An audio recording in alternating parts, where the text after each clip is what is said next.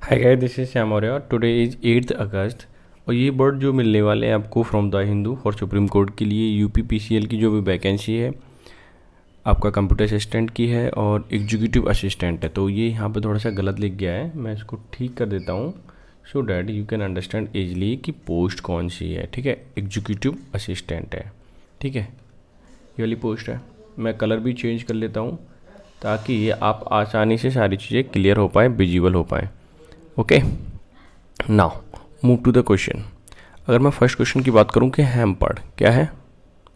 Hampered क्या होता है? मैं थोड़ा सा इसको तो हम क्वेश्चन करते हैं बात की हैम्पर्ड क्या है? हैम्पर्ड क्वेश्चन का मतलब होता है किसी भी चीज़ की पहले तो अगर नाउन के फॉर्म में बात करोगे तो गठरी होता है। क्या होता है? गठरी, या पोटली भी बोल सकते हैं। जानते हो कि पोर्ट ली इजीली समझ सकते हो।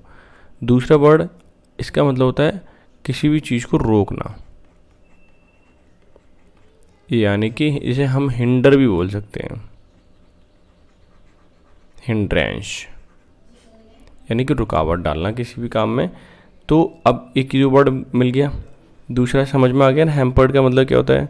जैसे बोलते हैं ना, जैसे आपने एंकरिंग देख होगी तो उसमें बोलते हैं एडजस्ट के व्यू वन हैम्पर हैम्पर मतलब टोकरी होती है। ठीक है? नेक्स्ट वर्ड की अगर मैं बात करूँ प्रोडिक्शन प्रोडिक्शन का मतलब होता है किसी की भविष्यवाणी करना। प्रोडिक्शन का मतलब भविष्य वाणी यानी कि कोई फ्यूचर के बारे में बताए। किसके बारे में बताए? फ्यूचर के बारे में बताए। ठीक है प्रोडिक्शन का मतलब हो गया।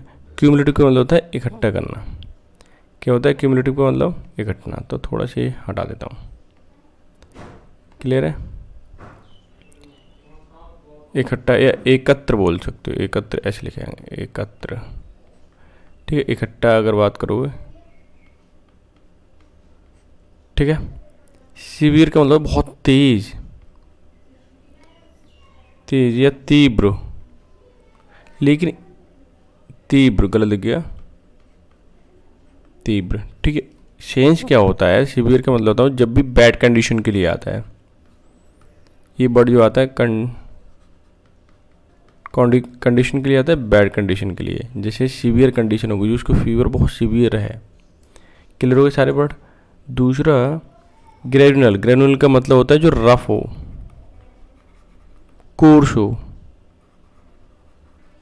ठीक है, ये सारे वर्ड तो यानी कि कंड्राइट भी बोल देते हैं। C O N D R I T E chondrite मतलब जो हमें पर्वत से मिलता है रफ चीज़ें होती हैं, पर्वत टुकड़े वगैरह। किसी भी पत्थर के, ठीक है? तो वो ग्रेन्यूअल हो सकते हैं। अनाज से संबंधित भी हो सकता है ग्रेन्यूअल का मतलब क्लियर लेकिन रफ होता है वो। बीज, एक बात करूँ तो रफ ही तो होता है स्मूथ थोड़ी होता है, बीज गेहूँ का देख लो। ग्रेन्यूअल सपोज़ करोगे तो वो गेहूँ का बीज ही करोगे। ऐसा नहीं है किसी, आप किसी चीज़ का कर लो, ठीक है? क्योंकि ग्रेन्यूअल जो रिलेटेड है, वो गेहूँ से रिलेटेड है, वो रफ होता है। ठीक है? क्लियर हो गया?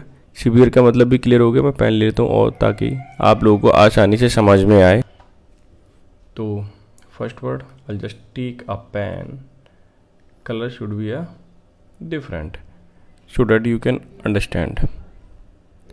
तो समझ में आ गया हैम्पर का मतलब क्या हुआ? गठरी, टोकरी, पोटली, ठीक है, रोकना। ये सारे बब के रूप में रोकना और हिंट्रेंस बब होती है सिनेम हो जाएगा। प्रोडिक्ट का मतलब होता है भविष्यवाणी करना you know very well future के लिए। क्यूमुलेटिव इकट्ठा होता है। इकट्ठा या फिर एकत्र करना। शिविर का मतलब तेज होना, किसी भी चीज़ का खराब होना। बैड कंडीशन के लिए। और बात करूँ ग्रेनुअल ग्रेनुअल का मतलब होता है रफ, कोर्स कंट्राइट ठीक है? रफ मतलब बहुत ही रफ दिखाई दे। इतनी चीज़ें आ गई ना, जैसे आप बोलते हो ना कि मुझे कैनवस के शूज़ चाहिए। क्या चाहिए?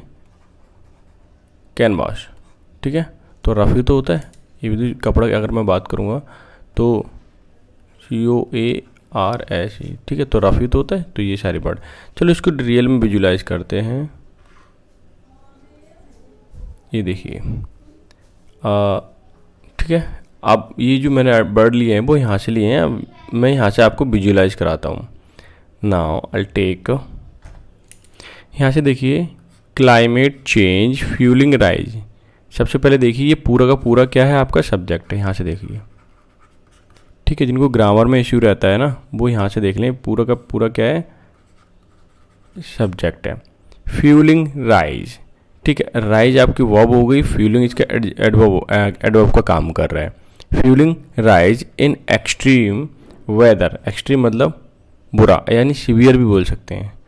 ठीक है, बहुत तेज, लेकिन तेज के सेंस में बैड कंडीशन के बारे में वेदर इवेंट फ्यूलिंग राइज का मतलब टेम्परेचर बढ़ता जा रहा है। ठीक है, ख़राब होता जा रहा है। तो climate change fuelling rise temperature बढ़ता जा रहा है इन एक्सट्रीम वेदर इवेंट जो जितनी भी घटनाएँ हैं इवेंट हैं वेदर की, मौसम की, उसके बारे में बता रहा है। इट हैज़ परफेक्ट बना हुआ है। इट हैज़ आल्सो हैम्पर्ड एक पोर्टली है, ये रोकता है द एबिलिटी ऑफ़ फोरकास्टिंग किस, एक योग्यता है हमारी फोरकास्टिंग करने की, यानी प्रिडिक्ट करने की। किस करने की? प्रिडिक्ट करने की। ठीक है एजेंसी टू मेक प्रिडिक्शन क्या प्रोडिक्शन करने के लिए, भविष्यवाणी करने के लिए एक्यूरेटली इस चीज़ में क्या करता है, ये हमारी एबिलिटी है। ठीक है, इस चीज़ को वो रोकता है हेम्पर्ड करता है। से आई एम डी डायरेक्टर यानी कि, ठीक है जनरल मूर्तियाँ, मूर्त्यंजय मोहपात्रा, क्या Mrutyunjay Mohapatra I M D Indian meteorological department क्या है? इंडियन मीटरोलॉजिकल यानी कि वेदर यानी कि मौसम विभाग की बात कर रहे हैं। उन्होंने कहा है कि ये जो है टेम्परेचर बढ़ता जा रहा है कि हमारी फोर फोरकास्टिंग करने की जो एबिलिटी है, उसमें क्या कर रहा है हैम्पर कर रहा है, रुकावट डाल रहा है। ठीक है? तो ये वाली समझ आ गई बात, मैंने कहाँ से बढ़ ली है? अब ये भी क्लियर हो गया होगा। मैं थोड़ा सा नीचे और करता हूँ, थोड़ा सा। ठीक है, यहाँ से देखिए। आप इसे आसानी से पढ़ सकते हैं। नाव मैं थोड़ा स्मूथ पेन लेता हूँ। ठीक हाँ? गुड अन ईवन स्प्रेड मतलब अजीब अजीब, जो इवनली काम होता है ना, ये रेगुलर रेगुलर काम होता है, उसे इवनली बोलेंगे। अनरेगुलर हो रहा है तो अनइवन बोलेंगे। एज ऑन यानी कि एज ऑन का मतलब होता है अब तक। एज ऑन का मतलब होता है अब तक। अब तक, अगर seven the while the cumulative मतलब कुल। क्यूमुलेटिव का मतलब यहाँ पे कुल। Monsoon rainfall over the country पूरे देश भर में as a whole six percent above the normal normal से छः परसेंट ज़्यादा हुई है। The spread of the rainfall has been uneven uneven है, कहीं ज़्यादा, कहीं कम। The state in the north and the each state ये नहीं। एंड ईस्ट सच आ उत्तर प्रदेश की बात करूँ मैं तो Bihar, Jharkhand and West Bengal continue to receive deficient rainfall Uttar Pradesh है, बिहार है, झारखंड है वेस्ट बंगाल है कंटिन्यू लगातार रिसीव डिफिशियंट का मतलब होता है कम। रेनफॉल मिल रही है, यहाँ पे बारिश कम हो रही है twenty percent to sixty percent below the long period average अगर सारे पीरियड का मिलाया जाए लॉन्ग पीरियड में तो लगभग इन्हीं स्टेट में 20 परसेंट से 60 परसेंट तक कम बारिश हो रही है। ये डिफिशियंट है। समझ में आ गया? अब देखिए, यहाँ से देख सकते हो लार्ज डिफिशियंट कहाँ कहाँ है? यहाँ पे येलो कलर है। येलो कलर दिखाई दे रहा है? नहीं है। अगर मैं बात करूँ deficient nine fifty nine to twenty percent तो कौन सा रीजन है? रेड वाला। ये देखो, उत्तर प्रदेश, बिहार, ये सब यहीं पे आता है।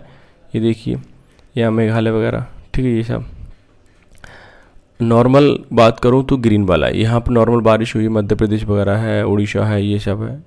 और जम्मू कश्मीर में भी असम वगैरह में भी, ये भी, और ये कर्नाटका, ये सब, बॉम्बे, यहाँ पर नॉर्मल बारिश हो रही है। एक्सेसिव की बात करूँ तो बीच में ये सब, ये ये वाला पोर्शन है ठीक है? तो इसमें twenty percent to fifty nine percent यहाँ नॉर्मल बारिश हो रही है, प्लस का देखिए। मतलब अधिक बारिश हो रही है, यहाँ पर नॉर्मल से अधिक बारिश हो रही है। ठीक है? तो मैंने लिखा region wise map shows figure the till seven August as the percentage of the long period average कि सेवन अगस्त तक जैसी बारिश हुई है उस कंडीशन को बताया गया है। तो I hope so you have understood the easily which I have just told you क्या क्या बताया? मैं पेन दूसरा ले लूँ। तो मैंने अभी आपको ये सारे वर्ड बताए थे। आई होप आपने नोट कर लिए होंगे। आप नोट कर लेना। लेकिन मैं देखता हूँ आप लोग लाइक कम करते हो शेयर भी कर दिया करो वीडियो को। इससे क्या एक मोटिवेशन मिलता है।